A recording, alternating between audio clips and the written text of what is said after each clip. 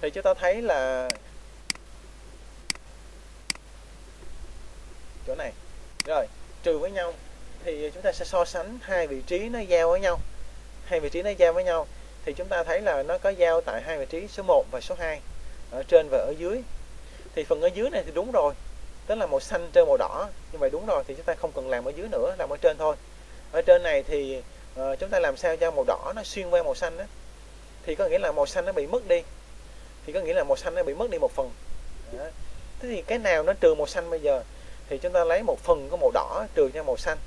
Thì cái phần màu đỏ là phần nào? Thì cái phần màu đỏ chính là phần này nè.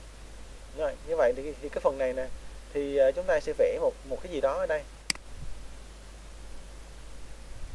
Chúng ta vẽ một gì đó ở đây chúng ta lòng vào trong đây nè. Đó thì chúng ta tô cho nó màu xanh đi. Xanh rin đi đó. Thì cái này nè nó sẽ giao với cái màu đỏ để cho nó lấy cái phần đó. À, cần giao với màu đỏ để để để lấy cái phần đó để phần đó nó trừ cho màu xanh. Như vậy giả sử lấy cái này nó ship với màu đỏ này chúng ta giao với nhau. Giao với nhau thì lấy phần chung được gọi là intersect lấy phần chung. Lấy phần chung. Ha intersect thì làm lại nè. Chọn cái màu xanh này với ship với màu đỏ này chúng ta kích vào cái nút lệnh này gọi là intersect lấy phần chung. Thì nó có phần chung rồi đó chúng ta lô cái màu xanh này ta bỏ ra ngoài phần chung đó là đây nè. Phần chung đó là màu vàng á. Đó. thì cái, cái màu vàng này nè ship với lại cái màu xanh này chúng ta trừ với nhau. Thì chúng ta chọn là một là back minus front hai là front minus back ha thì cái nào ở trên á thì nó sẽ được giữ lại.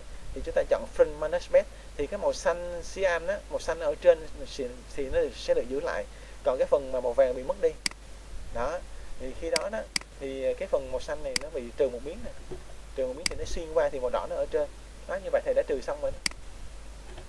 làm xong rồi đó nha, rồi thầy lưu phim lại này.